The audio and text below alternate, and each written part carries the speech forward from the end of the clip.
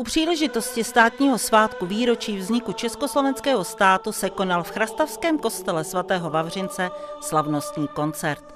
Vystoupil na něm pěvecký sbor Ještět s klasickými písněmi převážně českých autorů.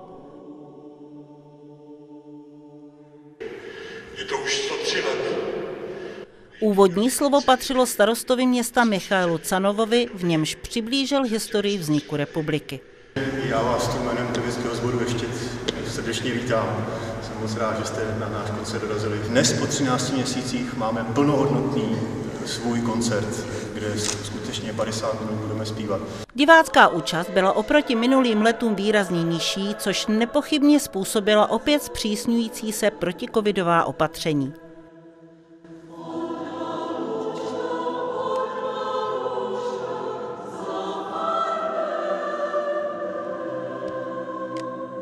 Snažíme se dodržovat všechna vládní nařízení, to znamená uh, zakrytí dýchacích cest uvnitř, uvnitř kostela a uh, kontrolujeme bezinfekčnost. To znamená, buď to, buď to návštěvníci mají doklad o prodělaném testu, nebo očkování, nebo případně si test udělají přímo na místě.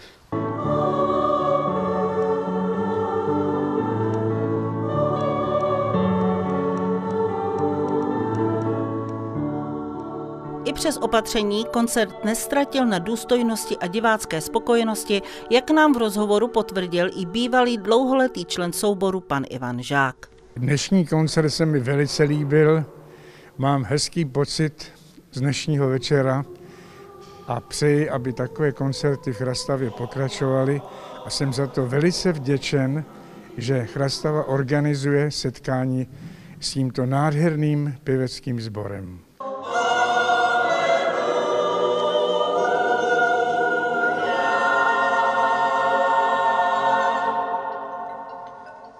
Jste pravidelným návštěvníkem koncertů?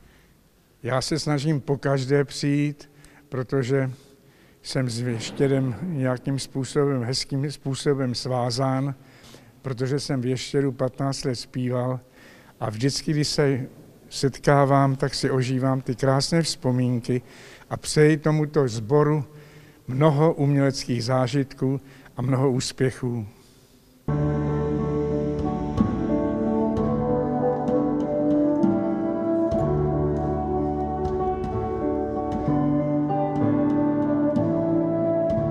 Po vystoupení nám v rozhovoru sbormistr pan Marek Miller potvrdil, že vystupování souboru Ještět je v Chrastavě téměř tradicí. My jsme v Chrastavě v kostele po sedmé. V jakém složení jste k nám dorazili? Kolik máte momentálně členů? Tak zpěvecký sbor ještě má momentálně zhruba 65 členů.